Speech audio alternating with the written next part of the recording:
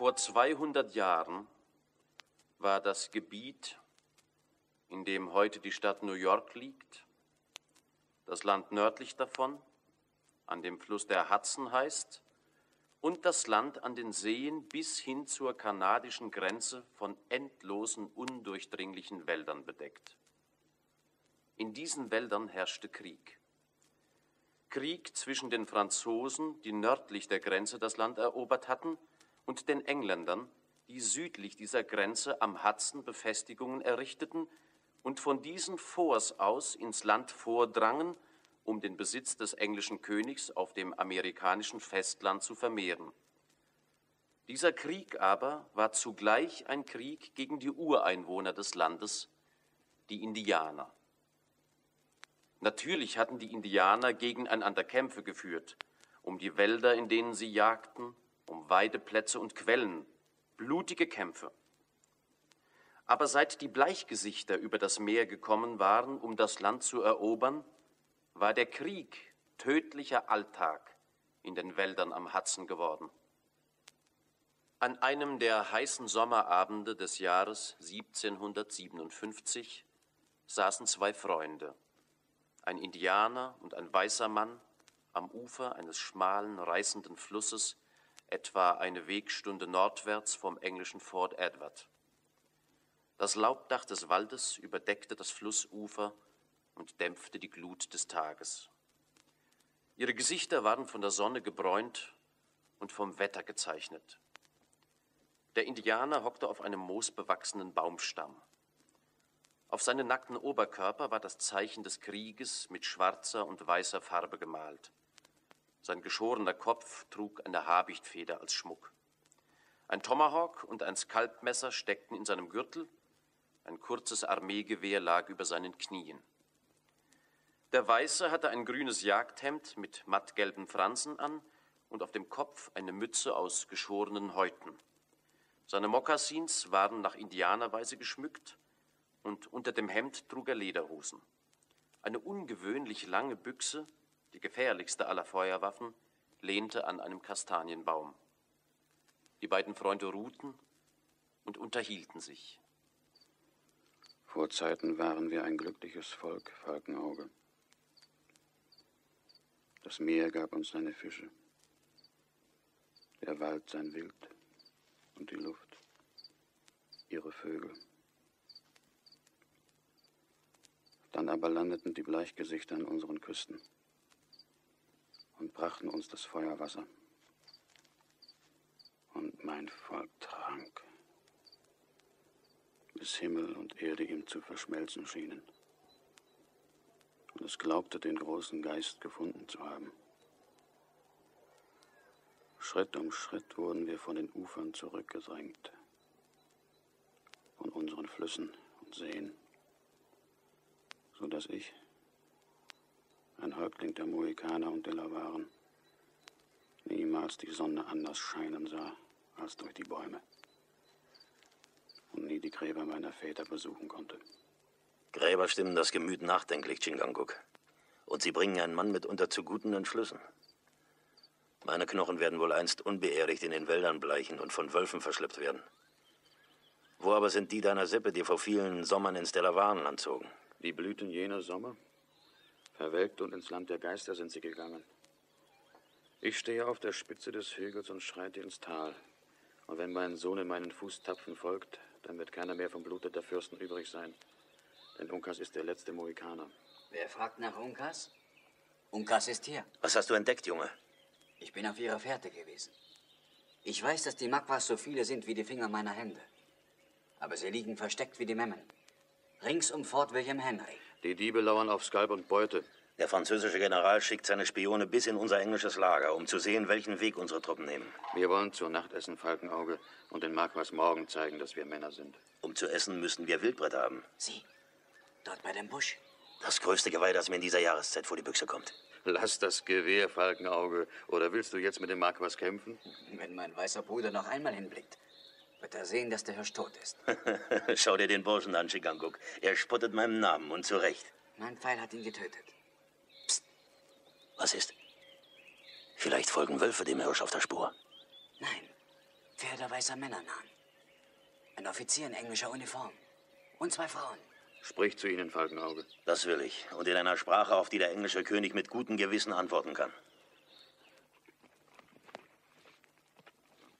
Heda, Major, wie kommt ihr dazu, zwei so liebreizende Ladies den Gefahren der Wildnis auszusetzen? Wir sind gläubige Christen und Freunde des Königs. Leute, die seit Sonnenaufgang durch diesen Wald reiten. Wir sind auf dem Weg nach Fort Henry zu Oberst Munro, wenn euch der Name etwas sagt. Meine Freunde und ich sind im Auftrag des Obristen dabei, die Schleichwege der Franzosen und ihrer Verbündeten der Makwas auszukundschaften. Sie umzingeln Fort Henry. Ah, dann könnt ihr mir vielleicht sagen, wie weit es noch bis Fort Henry ist. Die beiden Damen hier sind die Töchter des Obersten. Und ich bin Major Hayward. Habt ihr den Weg verloren? Ihr seid so weit von der Fährte wie ein Jagdhund, wenn ein See zwischen ihm und dem Wild liegt. Ihr tut am besten, dem Fluss hier nach Süden zu folgen, bis ihr nach Fort Edward kommt.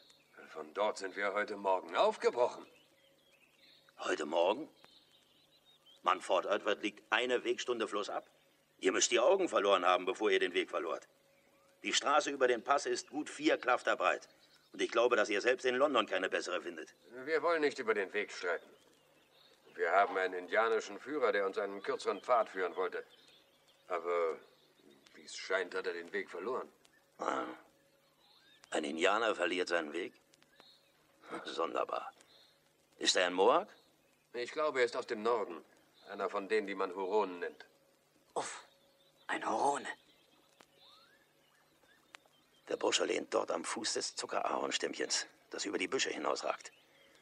Von hier treffe ich ihn mit einem Schuss zwischen Knöchel und Knie. Und dann ist's aus mit seinem Umherstreifen in den Wäldern für mindestens einen Monat. Lassen Sie das. Er könnte immerhin unschuldig sein. Geht zu ihm, verwickelt ihn in ein Gespräch. Meine Freunde Chingang Cook und Unkas werden sich hinüberschleichen und ihn beim Zipfel nehmen, ohne dass seine Bemalung Schaden erleidet. Ich werde ihn selber fassen. Glaubt ihr, wenn er sieht, dass ihr das eine Bein aus dem Bügel nehmt, wird er warten, bis ihr das andere herausbekommt? Wer in die Wälder geht, der muss nach Indianerbrauch handeln, wenn er Erfolg haben will. Reitet hin, sprecht mit ihm, als ob ihr ihn für den treuesten Freund hieltet, den ihr auf Erden habt. Den Rest besorgen die Mohikaner. Gemacht. Ich würde es versuchen. Nun, Margot, ihr seht, die Nacht überfällt uns und wir sind Fort Henry nicht näher als bei Sonnenaufgang. Ihr habt den Weg verfehlt. Zum Glück sind wir einem Jäger begegnet, der die Wälder kennt und uns an einen Platz führen will, wo wir bis morgen rasten können. Ist der Jäger allein? Allein? Oh, natürlich nicht allein, Margot. Ihr seht doch, die beiden Frauen sind bei ihm. Dann wird der schlaue Fuchs gehen und die Bleichgesichter werden nur Leute ihrer Farbe sehen. Wen nennst du den schlauen Fuchs? Das ist der Name, den meine Väter in Kanada Magua gegeben haben. Und was wird der schlaue Fuchs Oberst Munro im Fort Henry sagen? Will er ihm sagen, dass er, dass er seine Töchter ohne Führer in den Wäldern zurückgelassen hat? Der Oberst hat dir ein Geschenk für deine Dienste versprochen. Und ich tue das Gleiche, wenn du uns zum Vorbringst. Wenn die Damen sich erfrischt haben, ziehen wir weiter. Es soll geschehen. Äh, komm her. Hier ist mein Reisesack. Nimm dir Brot und Fleisch heraus. Äh, Was hast du, Margot? Warum blickst du zu den Büschen hinüber? Margot, bleib stehen! Haltet die Major! Verdammt. Er muss da unter den Bäumen sein. Wollt ihr den Wind jagen? Ich hörte den Kerl wie eine schwarze Schlange über die trockenen Blätter gleiten. Dann sah ich noch ein Stück von ihm in der Nähe der großen Fichte und drückte los. Vergebens. Seht den Sumachzweig da drüben. Ich habe seine Haut geschrammt, mehr nicht. Wenn er verwundet ist, sollten wir ihm nach. Wir sind vier tüchtige Männer. Seid ihr lebensmüde? Der Teufel bringt euch unter die Tomahawks seiner Leute, bevor ihr vom Laufen warm geworden seid. Wir müssen fort von hier und den geriebenen Mingo auf eine falsche Fährte locken. Sonst trocknen unsere Skalpe morgen im Wind vor den Zelten Montcalms. Da kommen eure Freunde zurück. Ah, wie es scheint, ist uns der Magua entwischt. Äh, Verlasst uns um Gottes Willen nicht. Bleibt und schützt die Frauen. Und sagt mir, welchen Lohn ihr dafür haben wollt. Bietet uns kein Geld.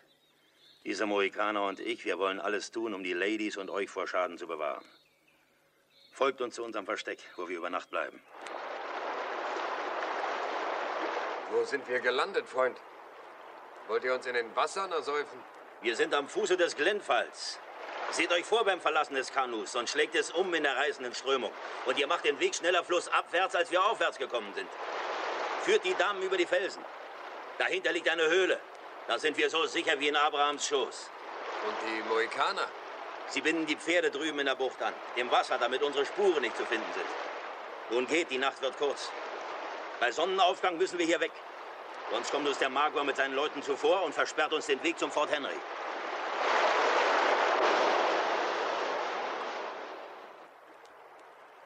Sind wir in dieser Höhle ganz sicher? Ein einziger bewaffneter Mann am Eingang kann mit uns machen, was er will. So ein paar alte Burschen wie Chingankuk und ich lassen sich nicht so leicht in einem Loch mit nur einem Ausgang fangen. Kommt tiefer herein. Seht nur, wie schlau der Platz eingerichtet ist. Der Fels ist aus schwarzem Schiefer. Der Stein ist weich. Man liegt nicht schlecht darauf, wenn Buschwerk und Fichtenzweige rar sind. Der Wasserfall hat das Gestein ausgehöhlt und jagt unter uns durch den Felsen. Sind wir auf einer Insel? Ja, mein Fräulein. Wenn Tageslicht wäre, würde es der Mühe wert sein, auf die Felsenspitze über der Insel zu steigen und den Mutwillen des Wassers zu sehen.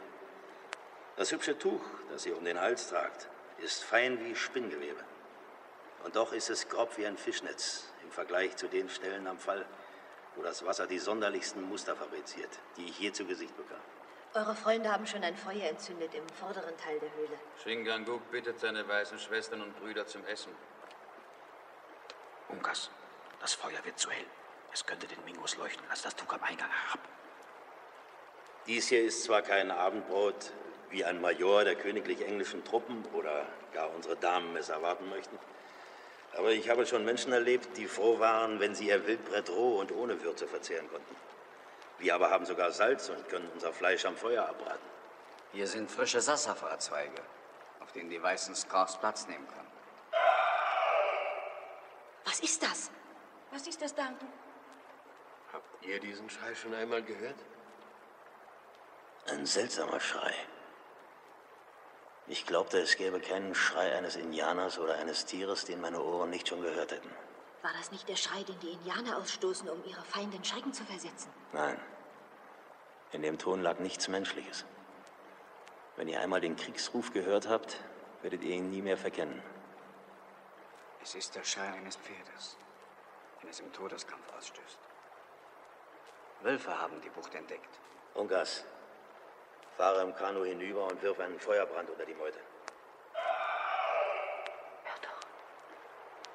Seid ihr gewiss, dass unsere Feinde nicht auf irgendeine besonders ausgefallene Teufelei gekommen sind, uns Angst einzujagen? Mein Fräulein, seit 30 Jahren höre ich alle Töne der Wälder. Wie ein Mann, der weiß, dass Leben und Tod von seinem Gehör abhängen. Unkas hat recht. Es ist der Angstschrei der Pferde. Die Kreaturen rufen um Hilfe. Legt euch jetzt schlafen. Die Mohikaner und ich werden den Rest der Nacht wachen. Ich weiß nicht. Ohne diesen geheimnisvollen Schrei haben wir Sorgen genug, die den Schlaf verscheuchen. Denk an die Angst unseres Vaters. Er hat uns am Abend erwartet. Der Oberst kennt die Wälder und die Gefahren des Marsches. Es war vielleicht selbstsüchtig von uns, Cora, dass wir auf diesen Besuch bestanden. Als er von eurem Plan erfuhr, ihn in Fort Henry zu besuchen, hatte er einen Kampf zwischen Sorge und Sehnsucht zu bestehen. Aber die Sehnsucht siegte. Das ist der mutige Geist meiner Kinder, Duncan, sagte er zu mir. Ich wollte, meine Soldaten hätten die Hälfte dieses festen Willens. Wir sollten dem Rat unseres Freundes folgen, Elise, und uns schlafen legen. Da wir wissen, dass gute und treue Männer wachen, sind wir sicher.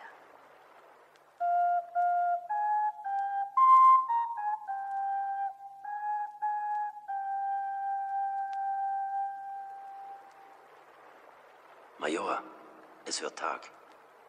Wacht auf. Mein Gott, ich wollte wach bleiben. Aber der Schlaf hat mich übermannt. Es ist Zeit aufzubrechen. Weckt die Mädchen, ich hole das Kanu. Wie sieht's draußen aus? Es ist so still wie um Mitternacht. Beeilt euch und macht leise.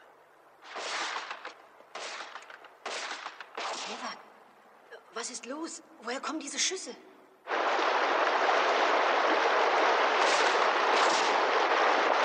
In Deckung, Major. Der Magua. Der schlaue Fuchs hat unser Versteck ausspioniert und die Mingos auf unsere Pferde gehetzt. Sie sind drüben am Ufer. Lasst mich auf den Felsen da hinauf. Wollt ihr den Kerlen verraten, wo wir versteckt liegen?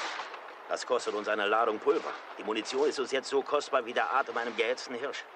Legt frisches Zündkraut auf die Pfannen eurer Pistolen. Der Wasserstaub macht den Schwefel feucht. Haltet euch für ein Handgemenge bereit, falls sie stürmen sollten. Die Mingos wagen noch keinen Angriff. Sie fürchten das Wasser. Lasst sie ihr Pulver verschießen. Wir werden eine hübsche Menge Blei einsammeln. Vielleicht werden die Burschen des Spiels müde, bevor das alte Gestein um Gnade fleht. Verdammt, jetzt haben Sie besser gezielt. Fast hätte es mich erwischt. Unkas, du verschwendest die Kugeln, weil deine Ladung zu stark ist. Du musst den schleichenden Gegner unter dem weißen Farbstrich treffen. Wenn dein Rohr um Haaresbreite abweicht, verfehlt die Kugel ihr Ziel um zwei Zoll. Okas Stutzen ist verdammt kurzlaufig. Seht die hier. Ein langer Lauf, weiches Metall mit tadellosem Zug. Eine geschickte Hand, rasches Auge und ihr habt die gefährlichste Waffe, die man sich denken kann. Die Feinde fürchten seine Waffe. Sie nennen Falkenauge das lange Gewehr. Uff. Fallendes Blei wird nicht plattgedrückt. Käme diese Kugel aus den Wolken, dann wäre es erklärlich. Wenn meine Brüder ihren Blick zu der Eiche dort am Ufer wenden, werden sie den Mingo erkennen. Unter den Zweigen im Wipfel des Baumes. Diese Teufel erklettern noch den Himmel, um uns in Chaos zu machen. Beschäftige ihn, Junge, bis ich meine Büchse in die Richtung bringe. Na, warte, Bürschchen. Das hat dir die Deckung ganz schön demoliert. Aber getroffen habt ihr ihn noch nicht. Weiß Gott, wir brauchen all unsere Gewehre, um den schlauen Kerl von seiner Stange herunterzubringen. Los, Shingankuk.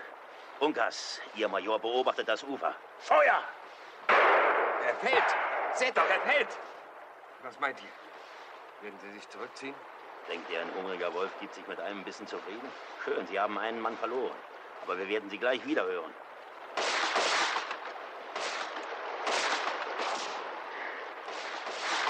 Unsere einzige Rettung ist, den Felsen so lange zu halten, bis Oberst Monroe uns eine Abteilung zur Hilfe schickt. Gott gebe, dass er es bald tut, wenn ihm das Leben seiner Töchter lieb ist. Pulver geht zu Ende. Unkas, schleich dich zum Boot und hol das Horn mit dem Rest unseres Pulvers. Wir brauchen es bis zum letzten Korn oder ich kenne die Mingos nicht. Falkenauge, unser Kanu treibt dort in der Strömung. Die Mingos waren schlauer als wir. Sie haben uns abgelenkt durch den Mann in der Eiche. Tatsächlich. Am Heck klammert einer der Buschen. Verflucht unser Leichtsinn. Der Schurke hat uns reingelegt. Die Büchsen sind jetzt nicht mehr wert als ein paar Wollkrautstängel vom vorigen Jahr. Noch sind die Huronen nicht hier. Wir könnten ihre Landung verhindern. Womit? Mit Unkas Pfeilen oder mit Weibertränen? Nein, ihr seid jung und reich und habt eine Masse Freunde. Da kommt einen das Sterben hart an. Fällt euch was auf?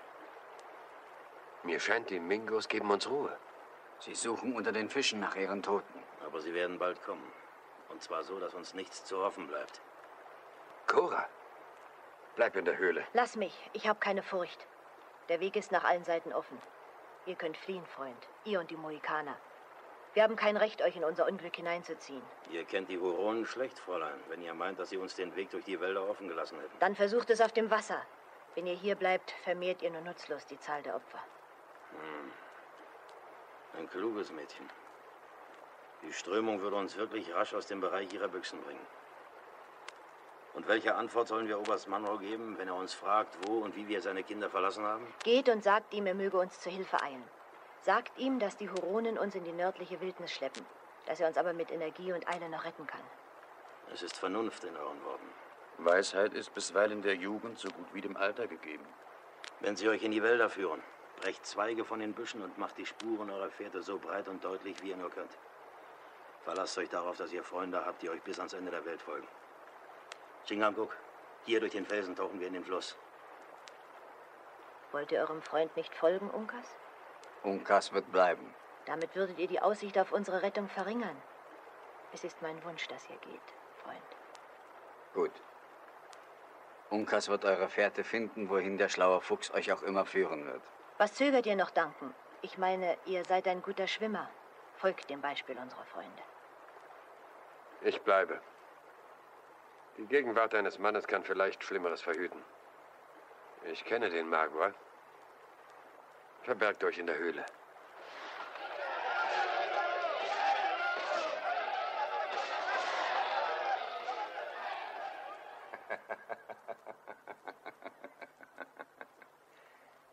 Die Bleichgesichter haben ihre Waffen weggeworfen.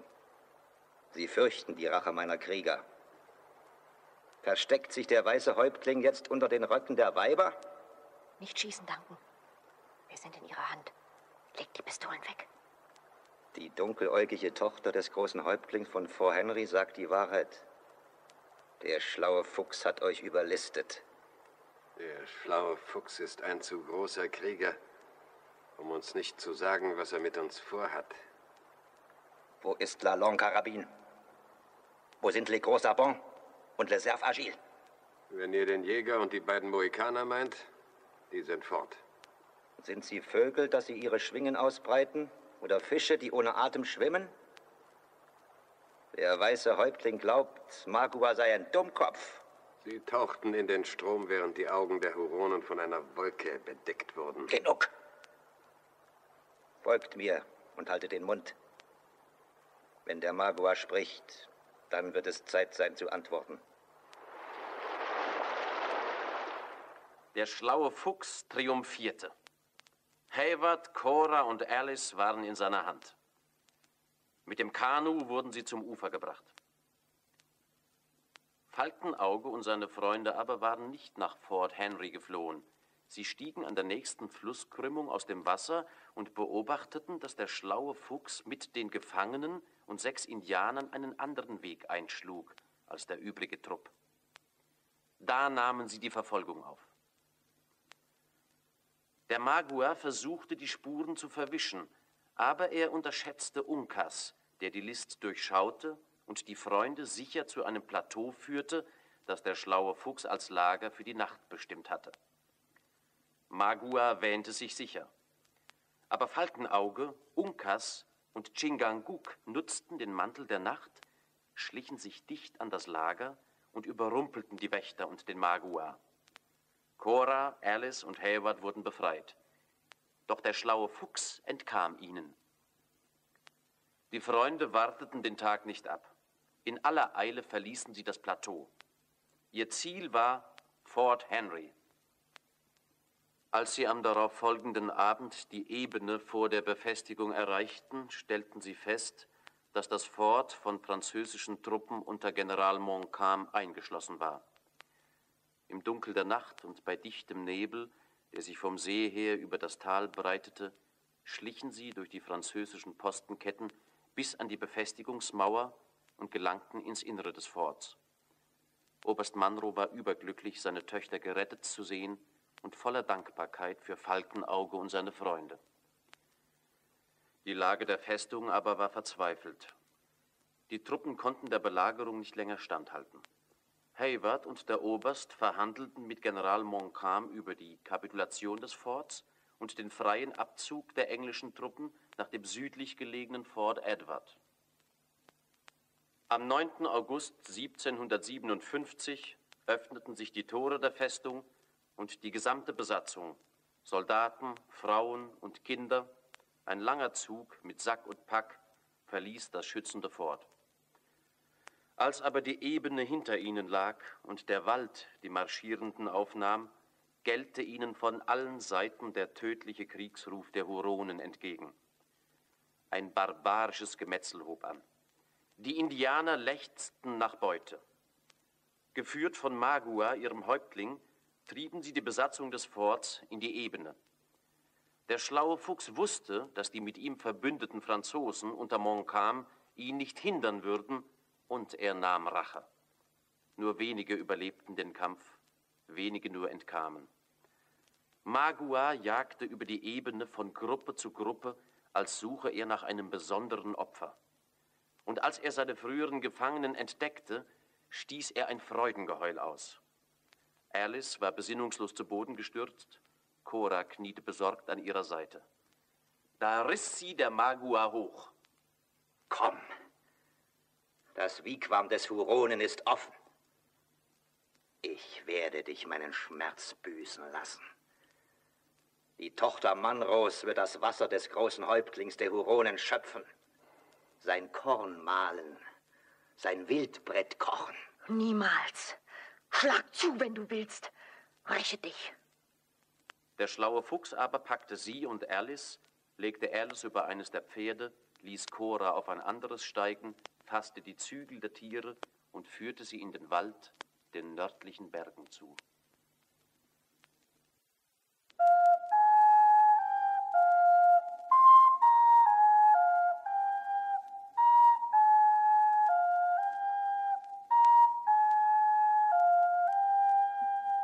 Eine Stunde vor Sonnenuntergang traten fünf Männer aus dem Wald auf die Ebene hinaus und gingen mit aller Vorsicht auf die zerstörten Befestigungsanlagen von Fort Henry zu.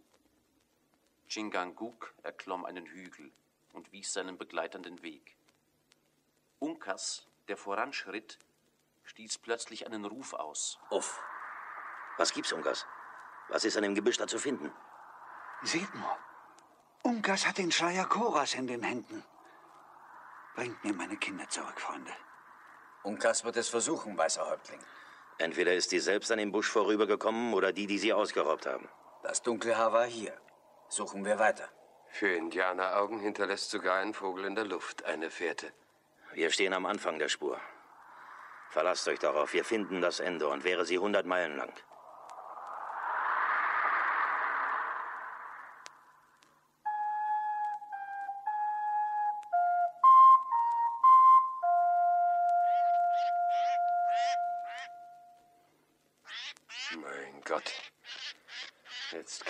Uns schon eine Woche bergauf, bergab.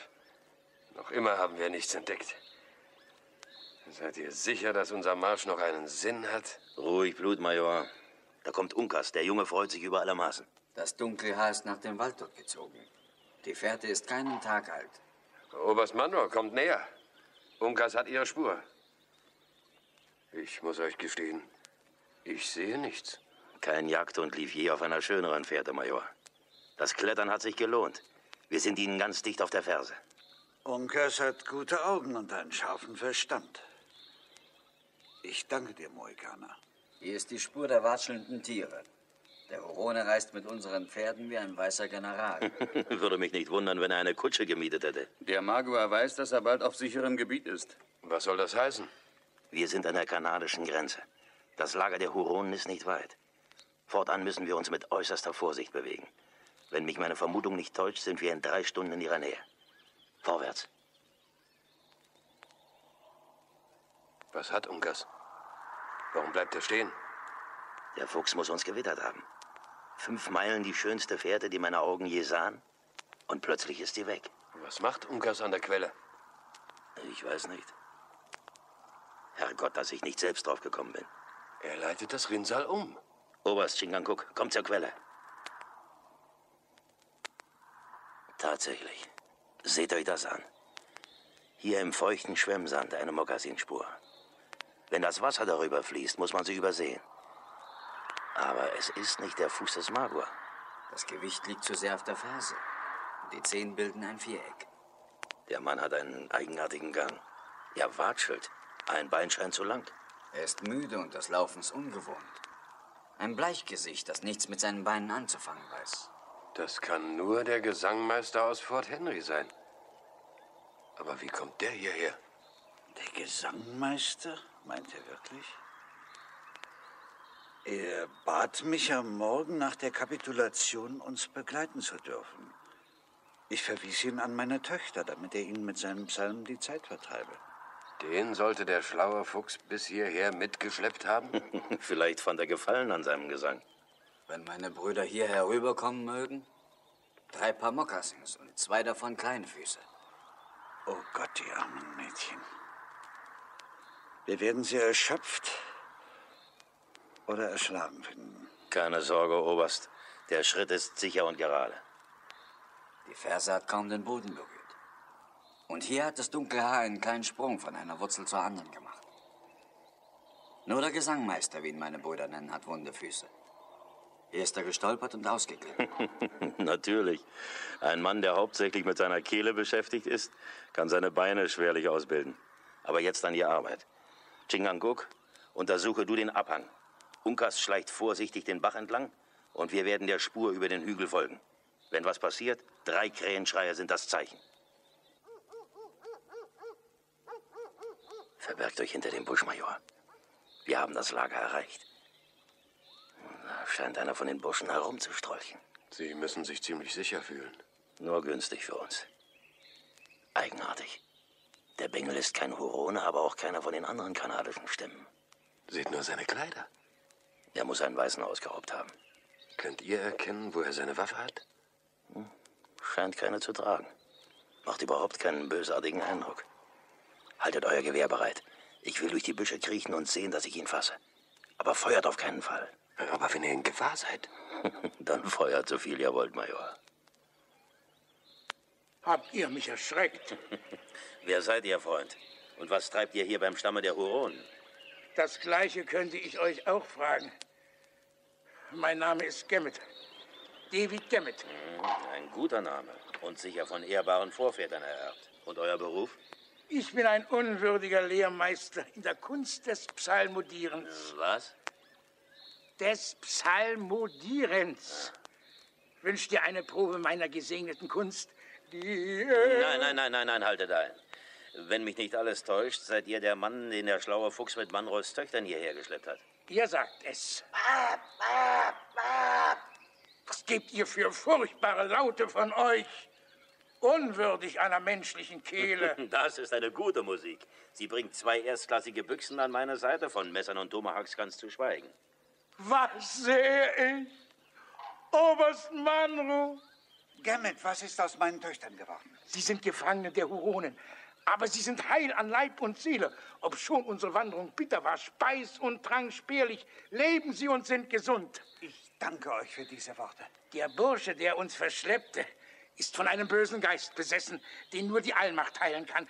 Ich habe ihn im Schlafen und Wachen umzustimmen versucht, aber weder Rede noch Gesang konnten seine Seele erweichen. Wo ist der Schuft? Morgen, so hörte ich, zieht er in die Berge. Cora ist zu einem benachbarten Stamm gebracht worden, hinter den schwarzen Felsspitzen dort. Alice ist in einer Höhle verborgen, bei der Lichtung über dem Lager. Hm. Und warum lässt man euch unbewacht umhergehen? Nicht zu einem Wurme, wie ich bin, gebührt der Preis. Die Macht meiner Musik hat Einfluss auf die Seelen der Feinde gewonnen. Ich kann kommen und gehen, wann ich will. Die Indianer tun keinem etwas, bei dem sie meinen, dass er, hm, na, da oben nicht ganz richtig ist. Wollt ihr mich beleidigen, Herr? Mitnichten, Freund. Ihr habt dem Umstand euer Leben zu verdanken. Und wir danken euch, dass ihr uns helfen könnt, die Mädchen zu befreien. Der weiße Mann sprach von dem Volk hinter den schwarzen Felsen, bei dem die dunkelhaarige Jungfrau lebt. Hat er die Totems des Stammes gesehen? Was Totem bedeutet, weiß ich nicht. Aber es dünkt mich, dass die Leute zu den verworfensten Götzendienern gehören. Ich sah seltsame und fantastische Bilder. Insbesondere eines war ganz widerlich. War es eine Schlange? So ähnlich. Es glich mehr einer Schildkröte. Uff. Das kann gut oder schlimm für uns sein, Freunde. Chingankuk ist aus dem edelsten Blut der Delawaren, zu denen die Mohikaner gehören. Er ist der große Häuptling ihrer Schildkröten. Und ihr glaubt, dass Cora bei diesem Stamm ist? Es scheint so. Aber erst müssen wir Alice befreien. Ins Lager zurückginge und Alice von uns Nachricht gibt. Ich werde ihn begleiten. Major. David ist ein Beweis, dass die Huronen milde walten lassen. Mit dem Unterschied, dass Gammet... Auch ich kann den Narren spielen. Bemalt mich, verändert mich, wie ihr wollt. Na schön. Dem Bock, der ins Wasser will, muss man entgegengehen. Chingankuk hat genügend Farben bei sich. Setzt euch auf den Baumstamm. Er wird einen erstklassigen Narren aus euch machen. Gebt euch als Franzose aus. Und verlasst euch drauf. Ich bleibe in eurer Nähe. Behüt euch Gott.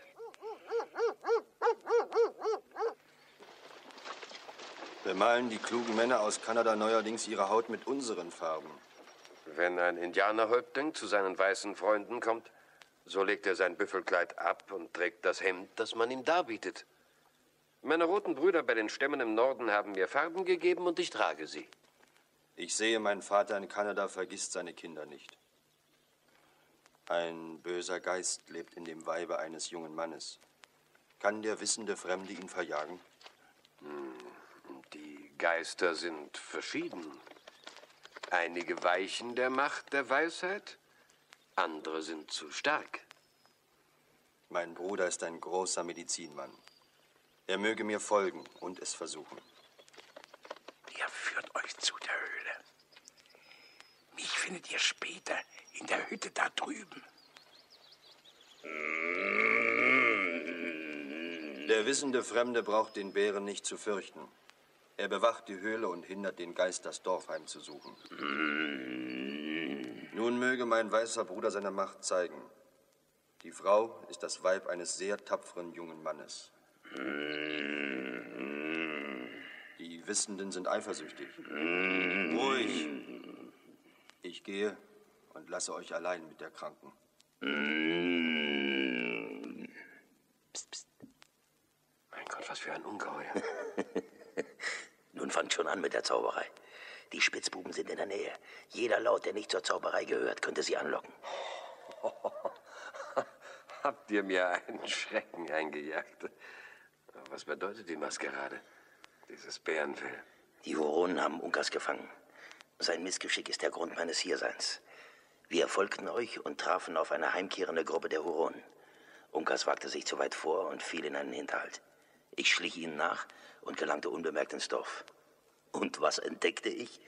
Einer ihrer größten Zauberer richtet sich gerade her, um im Fell dieses Bären irgendeinen Kampf mit dem Satan auszufechten. Ein wohlgezielter Hieb machte den Medizinmann für die nächsten Stunden steif.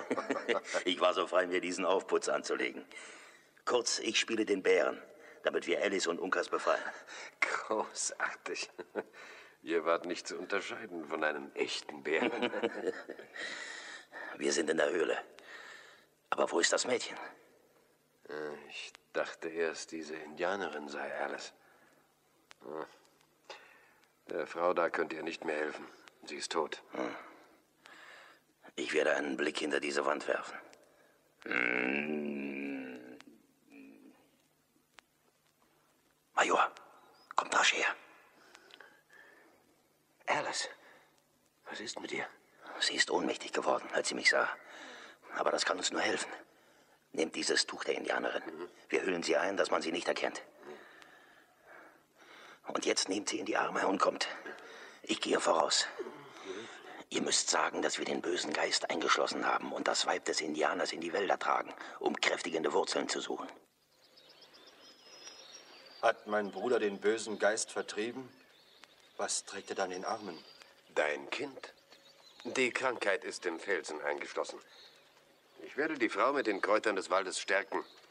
Sie wird im Wigwam eures Sohnes sein, wenn die Sonne wiederkehrt. Sagt das eurem Sohn. Da geht er hin. Wir haben ihn überlistet. Kommt jetzt. Danken. Wie seht ihr denn aus? Alice. Erschreckt nicht, Fräulein. Haltet euch still. Steigt den Hügel hinauf, Major, bis ihr zum Wasserfall kommt. Dort wartet der Oberst mit Chinganguk. Sie bringen euch zu den Delawaren. Und ihr? Wollt ihr euch von uns trennen? Die Huronen haben den letzten vom Häuptlingsblut der Mohikaner in ihrer Gewalt. Ich lasse nicht zu, dass man Unkas zur Marter schleppt, dass man ihn tötet, solange er mich zum Freund hat. Falkenauge, mein Bruder. Zerschneidet seine Fesseln, Gammet. Ich behalte den Wächter im Auge. Seid unbesorgt. Der hält euch für den Medizinmann und hat sich respektvoll zurückgezogen. Unkas wird in die Bärenhaut schlüpfen und fliehen. Unkas bleibt. Er wird an der Seite seines weißen Bruders kämpfen. Reicht mir euer Jagdhemd und eure Mütze und nehmt meine Kleider, das Buch und die Brille. Wenn wir uns in besseren Zeiten wiedersehen, gebt ihr mir alles zurück. David ihr habt ja nicht nur Gesänge im Kopf. Was meinst du, Unkas? Dürfen wir das Angebot annehmen? Hau. Der weiße Mann ist ein listiger Krieger. Gott bewahre. Wir werden ihn binden und knebeln, damit die Huronen glauben, wir hätten ihm Gewalt angetan. David, wir holen euch hier heraus, bei meinem Kopf. Verschwindet jetzt. Ich werde später einen Psalm für eure Rettung anstimmen. Und vergesst das Knurren nicht, wenn ihr die Hütte verlasst.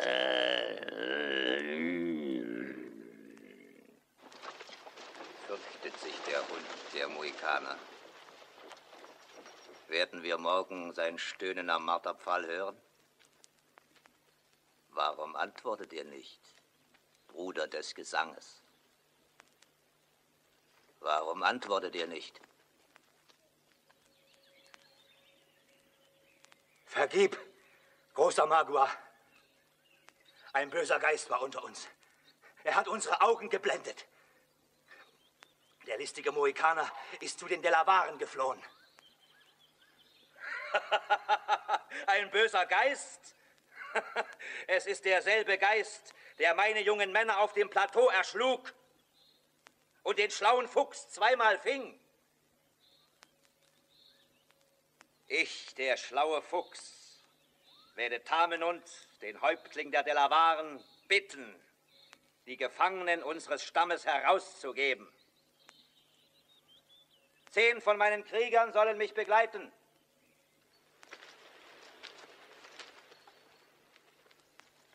Magua, der Häuptling der Huronen, entbietet dem großen Tamenund vom Volk der Delawaren seinen Gruß. Die Tomahawks eurer jungen Krieger sind rot gewesen vom Blut der Weißen an Fort Henry, Magua. Es ist so. Aber nun sind sie glänzend und stumpf. Die Feinde sind tot. Und die Delawaren sind unsere Nachbarn. Macht die Gefangene meinen Brüdern Mühe. Sie ist uns willkommen. Der Pfad zwischen den Huronen und den Delawaren ist kurz. Sendet sie zu uns, wenn sie meinen Brüdern lästig ist. Sie ist uns willkommen. Die Huronen lieben ihre Freunde, die Delawaren. Hat mein Bruder nicht Speer in den Wäldern gewittert? Es sind fremde Mokassins in der Nähe meines Lagers gewesen. Ihre Spur führt bis in meine Hütten. Peitschte mein Bruder die Hunde hinaus? Der Fremde ist den Delawaren stets willkommen. Der Fremde, aber nicht der Speer. Wer ist es, den Magua fürchtet? Lalong Karabin. Aber ich fürchte ihn nicht. Dort stehen die Fremden. Welcher von ihnen ist Lalong Karabin? Fürchtet Lalong Karabin den Häuptling der Huronen? Dass ich auf den Ruf Lalong Karabin nicht antworte, geschieht weder aus Scham noch aus Furcht, großer Damenhund. Ich bin der Mann, der von seiner Sippe Nathaniel genannt wird und von den Delawaren, die noch an ihrem alten Fluss leben, Falkenauge. Was fordert der schlaue Fuchs von den Delawaren? Gerechtigkeit. Seine Gefangenen sind bei seinen Brüdern und er verlangt sein Eigentum. Das dunkelhaarige Mädchen dort ist meine Gefangene. Gerechtigkeit ist das Gesetz Vanetus. Meine Kinder, gebt den Fremden Nahrung und du, Magua, nimm, was dein ist und geh. Gerechter und ehrwürdiger Delaware, höre nicht auf dieses listige Ungeheuer, das dir Lügen vorspricht, um seinen Blutdurst zu stillen. Ich rufe deine Weisheit und Macht um Gnade und Schutz an. Wer bist du? Ein Weib, das um Hilfe bittet. Ich weiß, dass die Bleichgesichter eine hungrige Rasse sind. Ich weiß, dass sie nicht nur die Erde für sich fordern. Mit der aufgehenden Sonne kamen sie ins Land. Und sie können noch mit der sinkenden schwinden. Oft habe ich die Heuschrecken die Blätter von den Bäumen fressen sehen. Aber die Blütezeit kam immer wieder. Es ist so. Aber warum es so ist, wissen wir nicht. Doch höre, hier ist einer aus deinem eigenen Volk, den man nicht vor dein Angesicht führte. Ehe du den Horonen als Sieger ziehen lässt, höre ihn an. Es ist eine Schlange, eine Rothaut im Solde der Weißen. Er sollte gemartert werden. Er soll kommen. Hier bin ich. Mit welcher Zunge spricht der Gefangene zum großen Geist? Mit der Zunge der Delawaren, gleich seinen Vätern. Die Tiere des Waldes und der Luft habe ich in den Wigwams der Menschen leben sehen.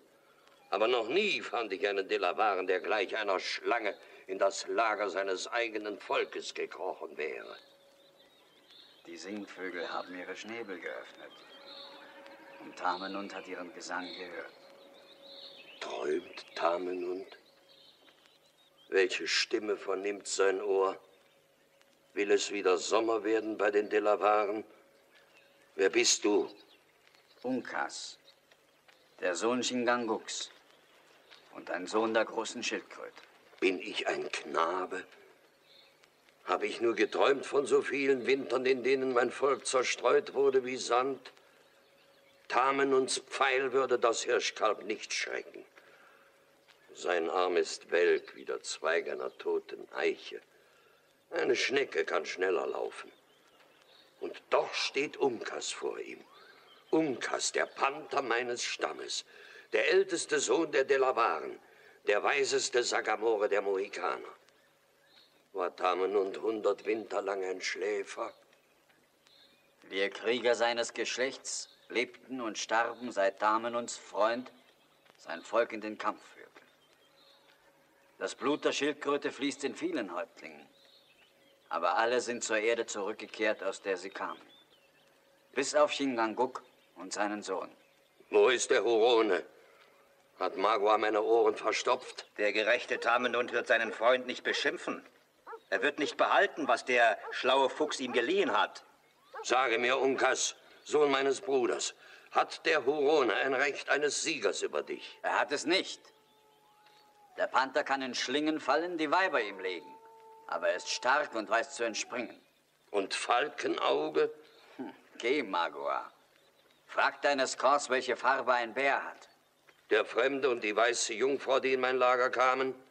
Ihr Pfad soll offen sein. Und das Weib, das jener Horone bei meinen Kriegern ließ? Sie ist mein, Mohikaner. Du weißt, dass sie mein ist. Niemals. Horone. Eine unwillige Jungfrau bringt kein Glück. Magua will nichts als das, was er hierher gebracht hat. Dann zieh mit dem, was dir gehört. Der große Geist verhüte, dass ein Delavare je ungerecht sein sollte. Großer Gott im Himmel, das darf nicht geschehen. Ich flehe dich an, gerechter Tamenund. Ich habe gesprochen. Männer sprechen nicht zweimal. Führt mich in mein Wigwam. Magua ist ein großer Häuptling. Er weiß, was er will. Komm, Dunkelhaar, wir gehen. Ich bin deine Gefangene und bereit zum Tod. Aber ich will keine Gewalt, Magua. Magua, die Gerechtigkeit der Delawaren kommt vom großen Geist. Sieh nach der Sonne. Sie hat jetzt die oberen Zweige des Schirlingbaumes erreicht. Dein Weg ist kurz. Wenn die Sonne über den Bäumen ist, werden wir auf deiner Fährte sein. Ich höre eine Krähe. Platz. Wo sind die Unterröcke der Delawaren? Mögen sie doch ihre Pfeile und ihre Büchsen zu den Huronen schicken. Ich speie auf euch! Ich möchte einen Dankgesang anstimmen, dass ich euch endlich gefunden habe, Freunde. Ich bin durch die Wälder geirrt, wie ein blindes Huhn. Sagt uns lieber, was ihr von den Mingos wisst. Aber in gutem Englisch und ohne Musik. Die Heiden sind in großer Zahl unterwegs. Es ist ein Geschrei und eine gottlose Schwelgerei in ihren Zelten und ein Getöse, dass ich mich aus dem Staube gemacht habe. Und der Magua? Er ließ die Jungfrau in der Höhle zurück. Er tobt wie ein wütender Wolf unter seinen Leuten. Wir umzingeln sie. Ich gehe den Fluss entlang. In der Nähe der Biberhütten findet ihr Chingangguk und den Obersten. Unkas, du schleichst dich auf die Felsen über der Höhle. Und dann schlagen wir zu. Hau, vorwärts. Merkt euch, Sänger, wir sind unterwegs, um zu kämpfen, nicht um Musik zu machen. Major, gebt ihm eine eurer Pistolen. Wir werden einen guten Tag fürs Gefecht haben. Aber mit der Deckung ist es jetzt zu Ende. Unkas wird gleich das Zeichen geben. Nehmt die Lichtung unter Feuer. Von der Höhle ziehen Sie sich zusammen. Wir stürmen. Vorwärts! Da oben im Felsen ist der Magua mit dem Mädchen. Wir schneiden ihm den Weg ab. Cora! Cora! Nur Mut, meine Dame, gleich sind wir da. Auseinanderziehen, sonst schießen uns die Schufte zusammen. Verflucht! Der Magur benutzt das Mädchen als Schild. Er treibt sie vor sich her. Bleib stehen, Magua, du Hund eines Huronen. Ich gehe nicht weiter. Töte mich, Magua. Aber weiter gehe ich nicht. Wähle den Wigwam des Magua oder sein Messer. Magua! Sei barmherzig, Magua! Schießt nicht! Hayward! Ihr könntet das Mädchen treffen! Wartet! Unkas springt vom Felsen! Unkas! Unkas! Ah, der Satan hat ihn mit dem Messer abgefangen. Mein Gott, der Magua hat beide ermordet. Die Bleichgesichter sind Memmen. Die Mohikaner sind Weiber. Magua lässt das Dunkelhaar und den stinkenden Mohikaner hier auf dem Felsen für die Geier liegen. Schießt ihn ab, Nathaniel. Schießt doch! Schießt!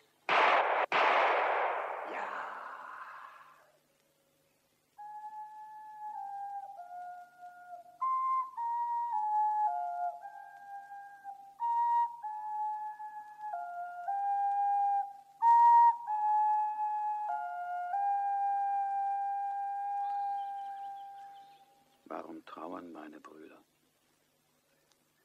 Warum weinen meine Töchter? weil ein junger Mann zu den glücklichen Jagdgründen aufgebrochen ist, weil ein Häuptling seine Zeit ehrenvoll beschlossen hat. Er war gut. Er war tapfer. Unser Tag ist lang gewesen, Kinder der Delawaren. Am Morgen sah ich unser Volk glücklich und stark. Und ehe die Nacht niedersinkt, betten wir den letzten Krieger aus dem Geschlecht der Mohikaner in die Erde. Das Dunkelhaar aber, das Mädchen, für das er sein Leben gab, liegt ihm zur Seite. Dass sie einen gemeinsamen Weg in die glücklichen Jagdgründe haben.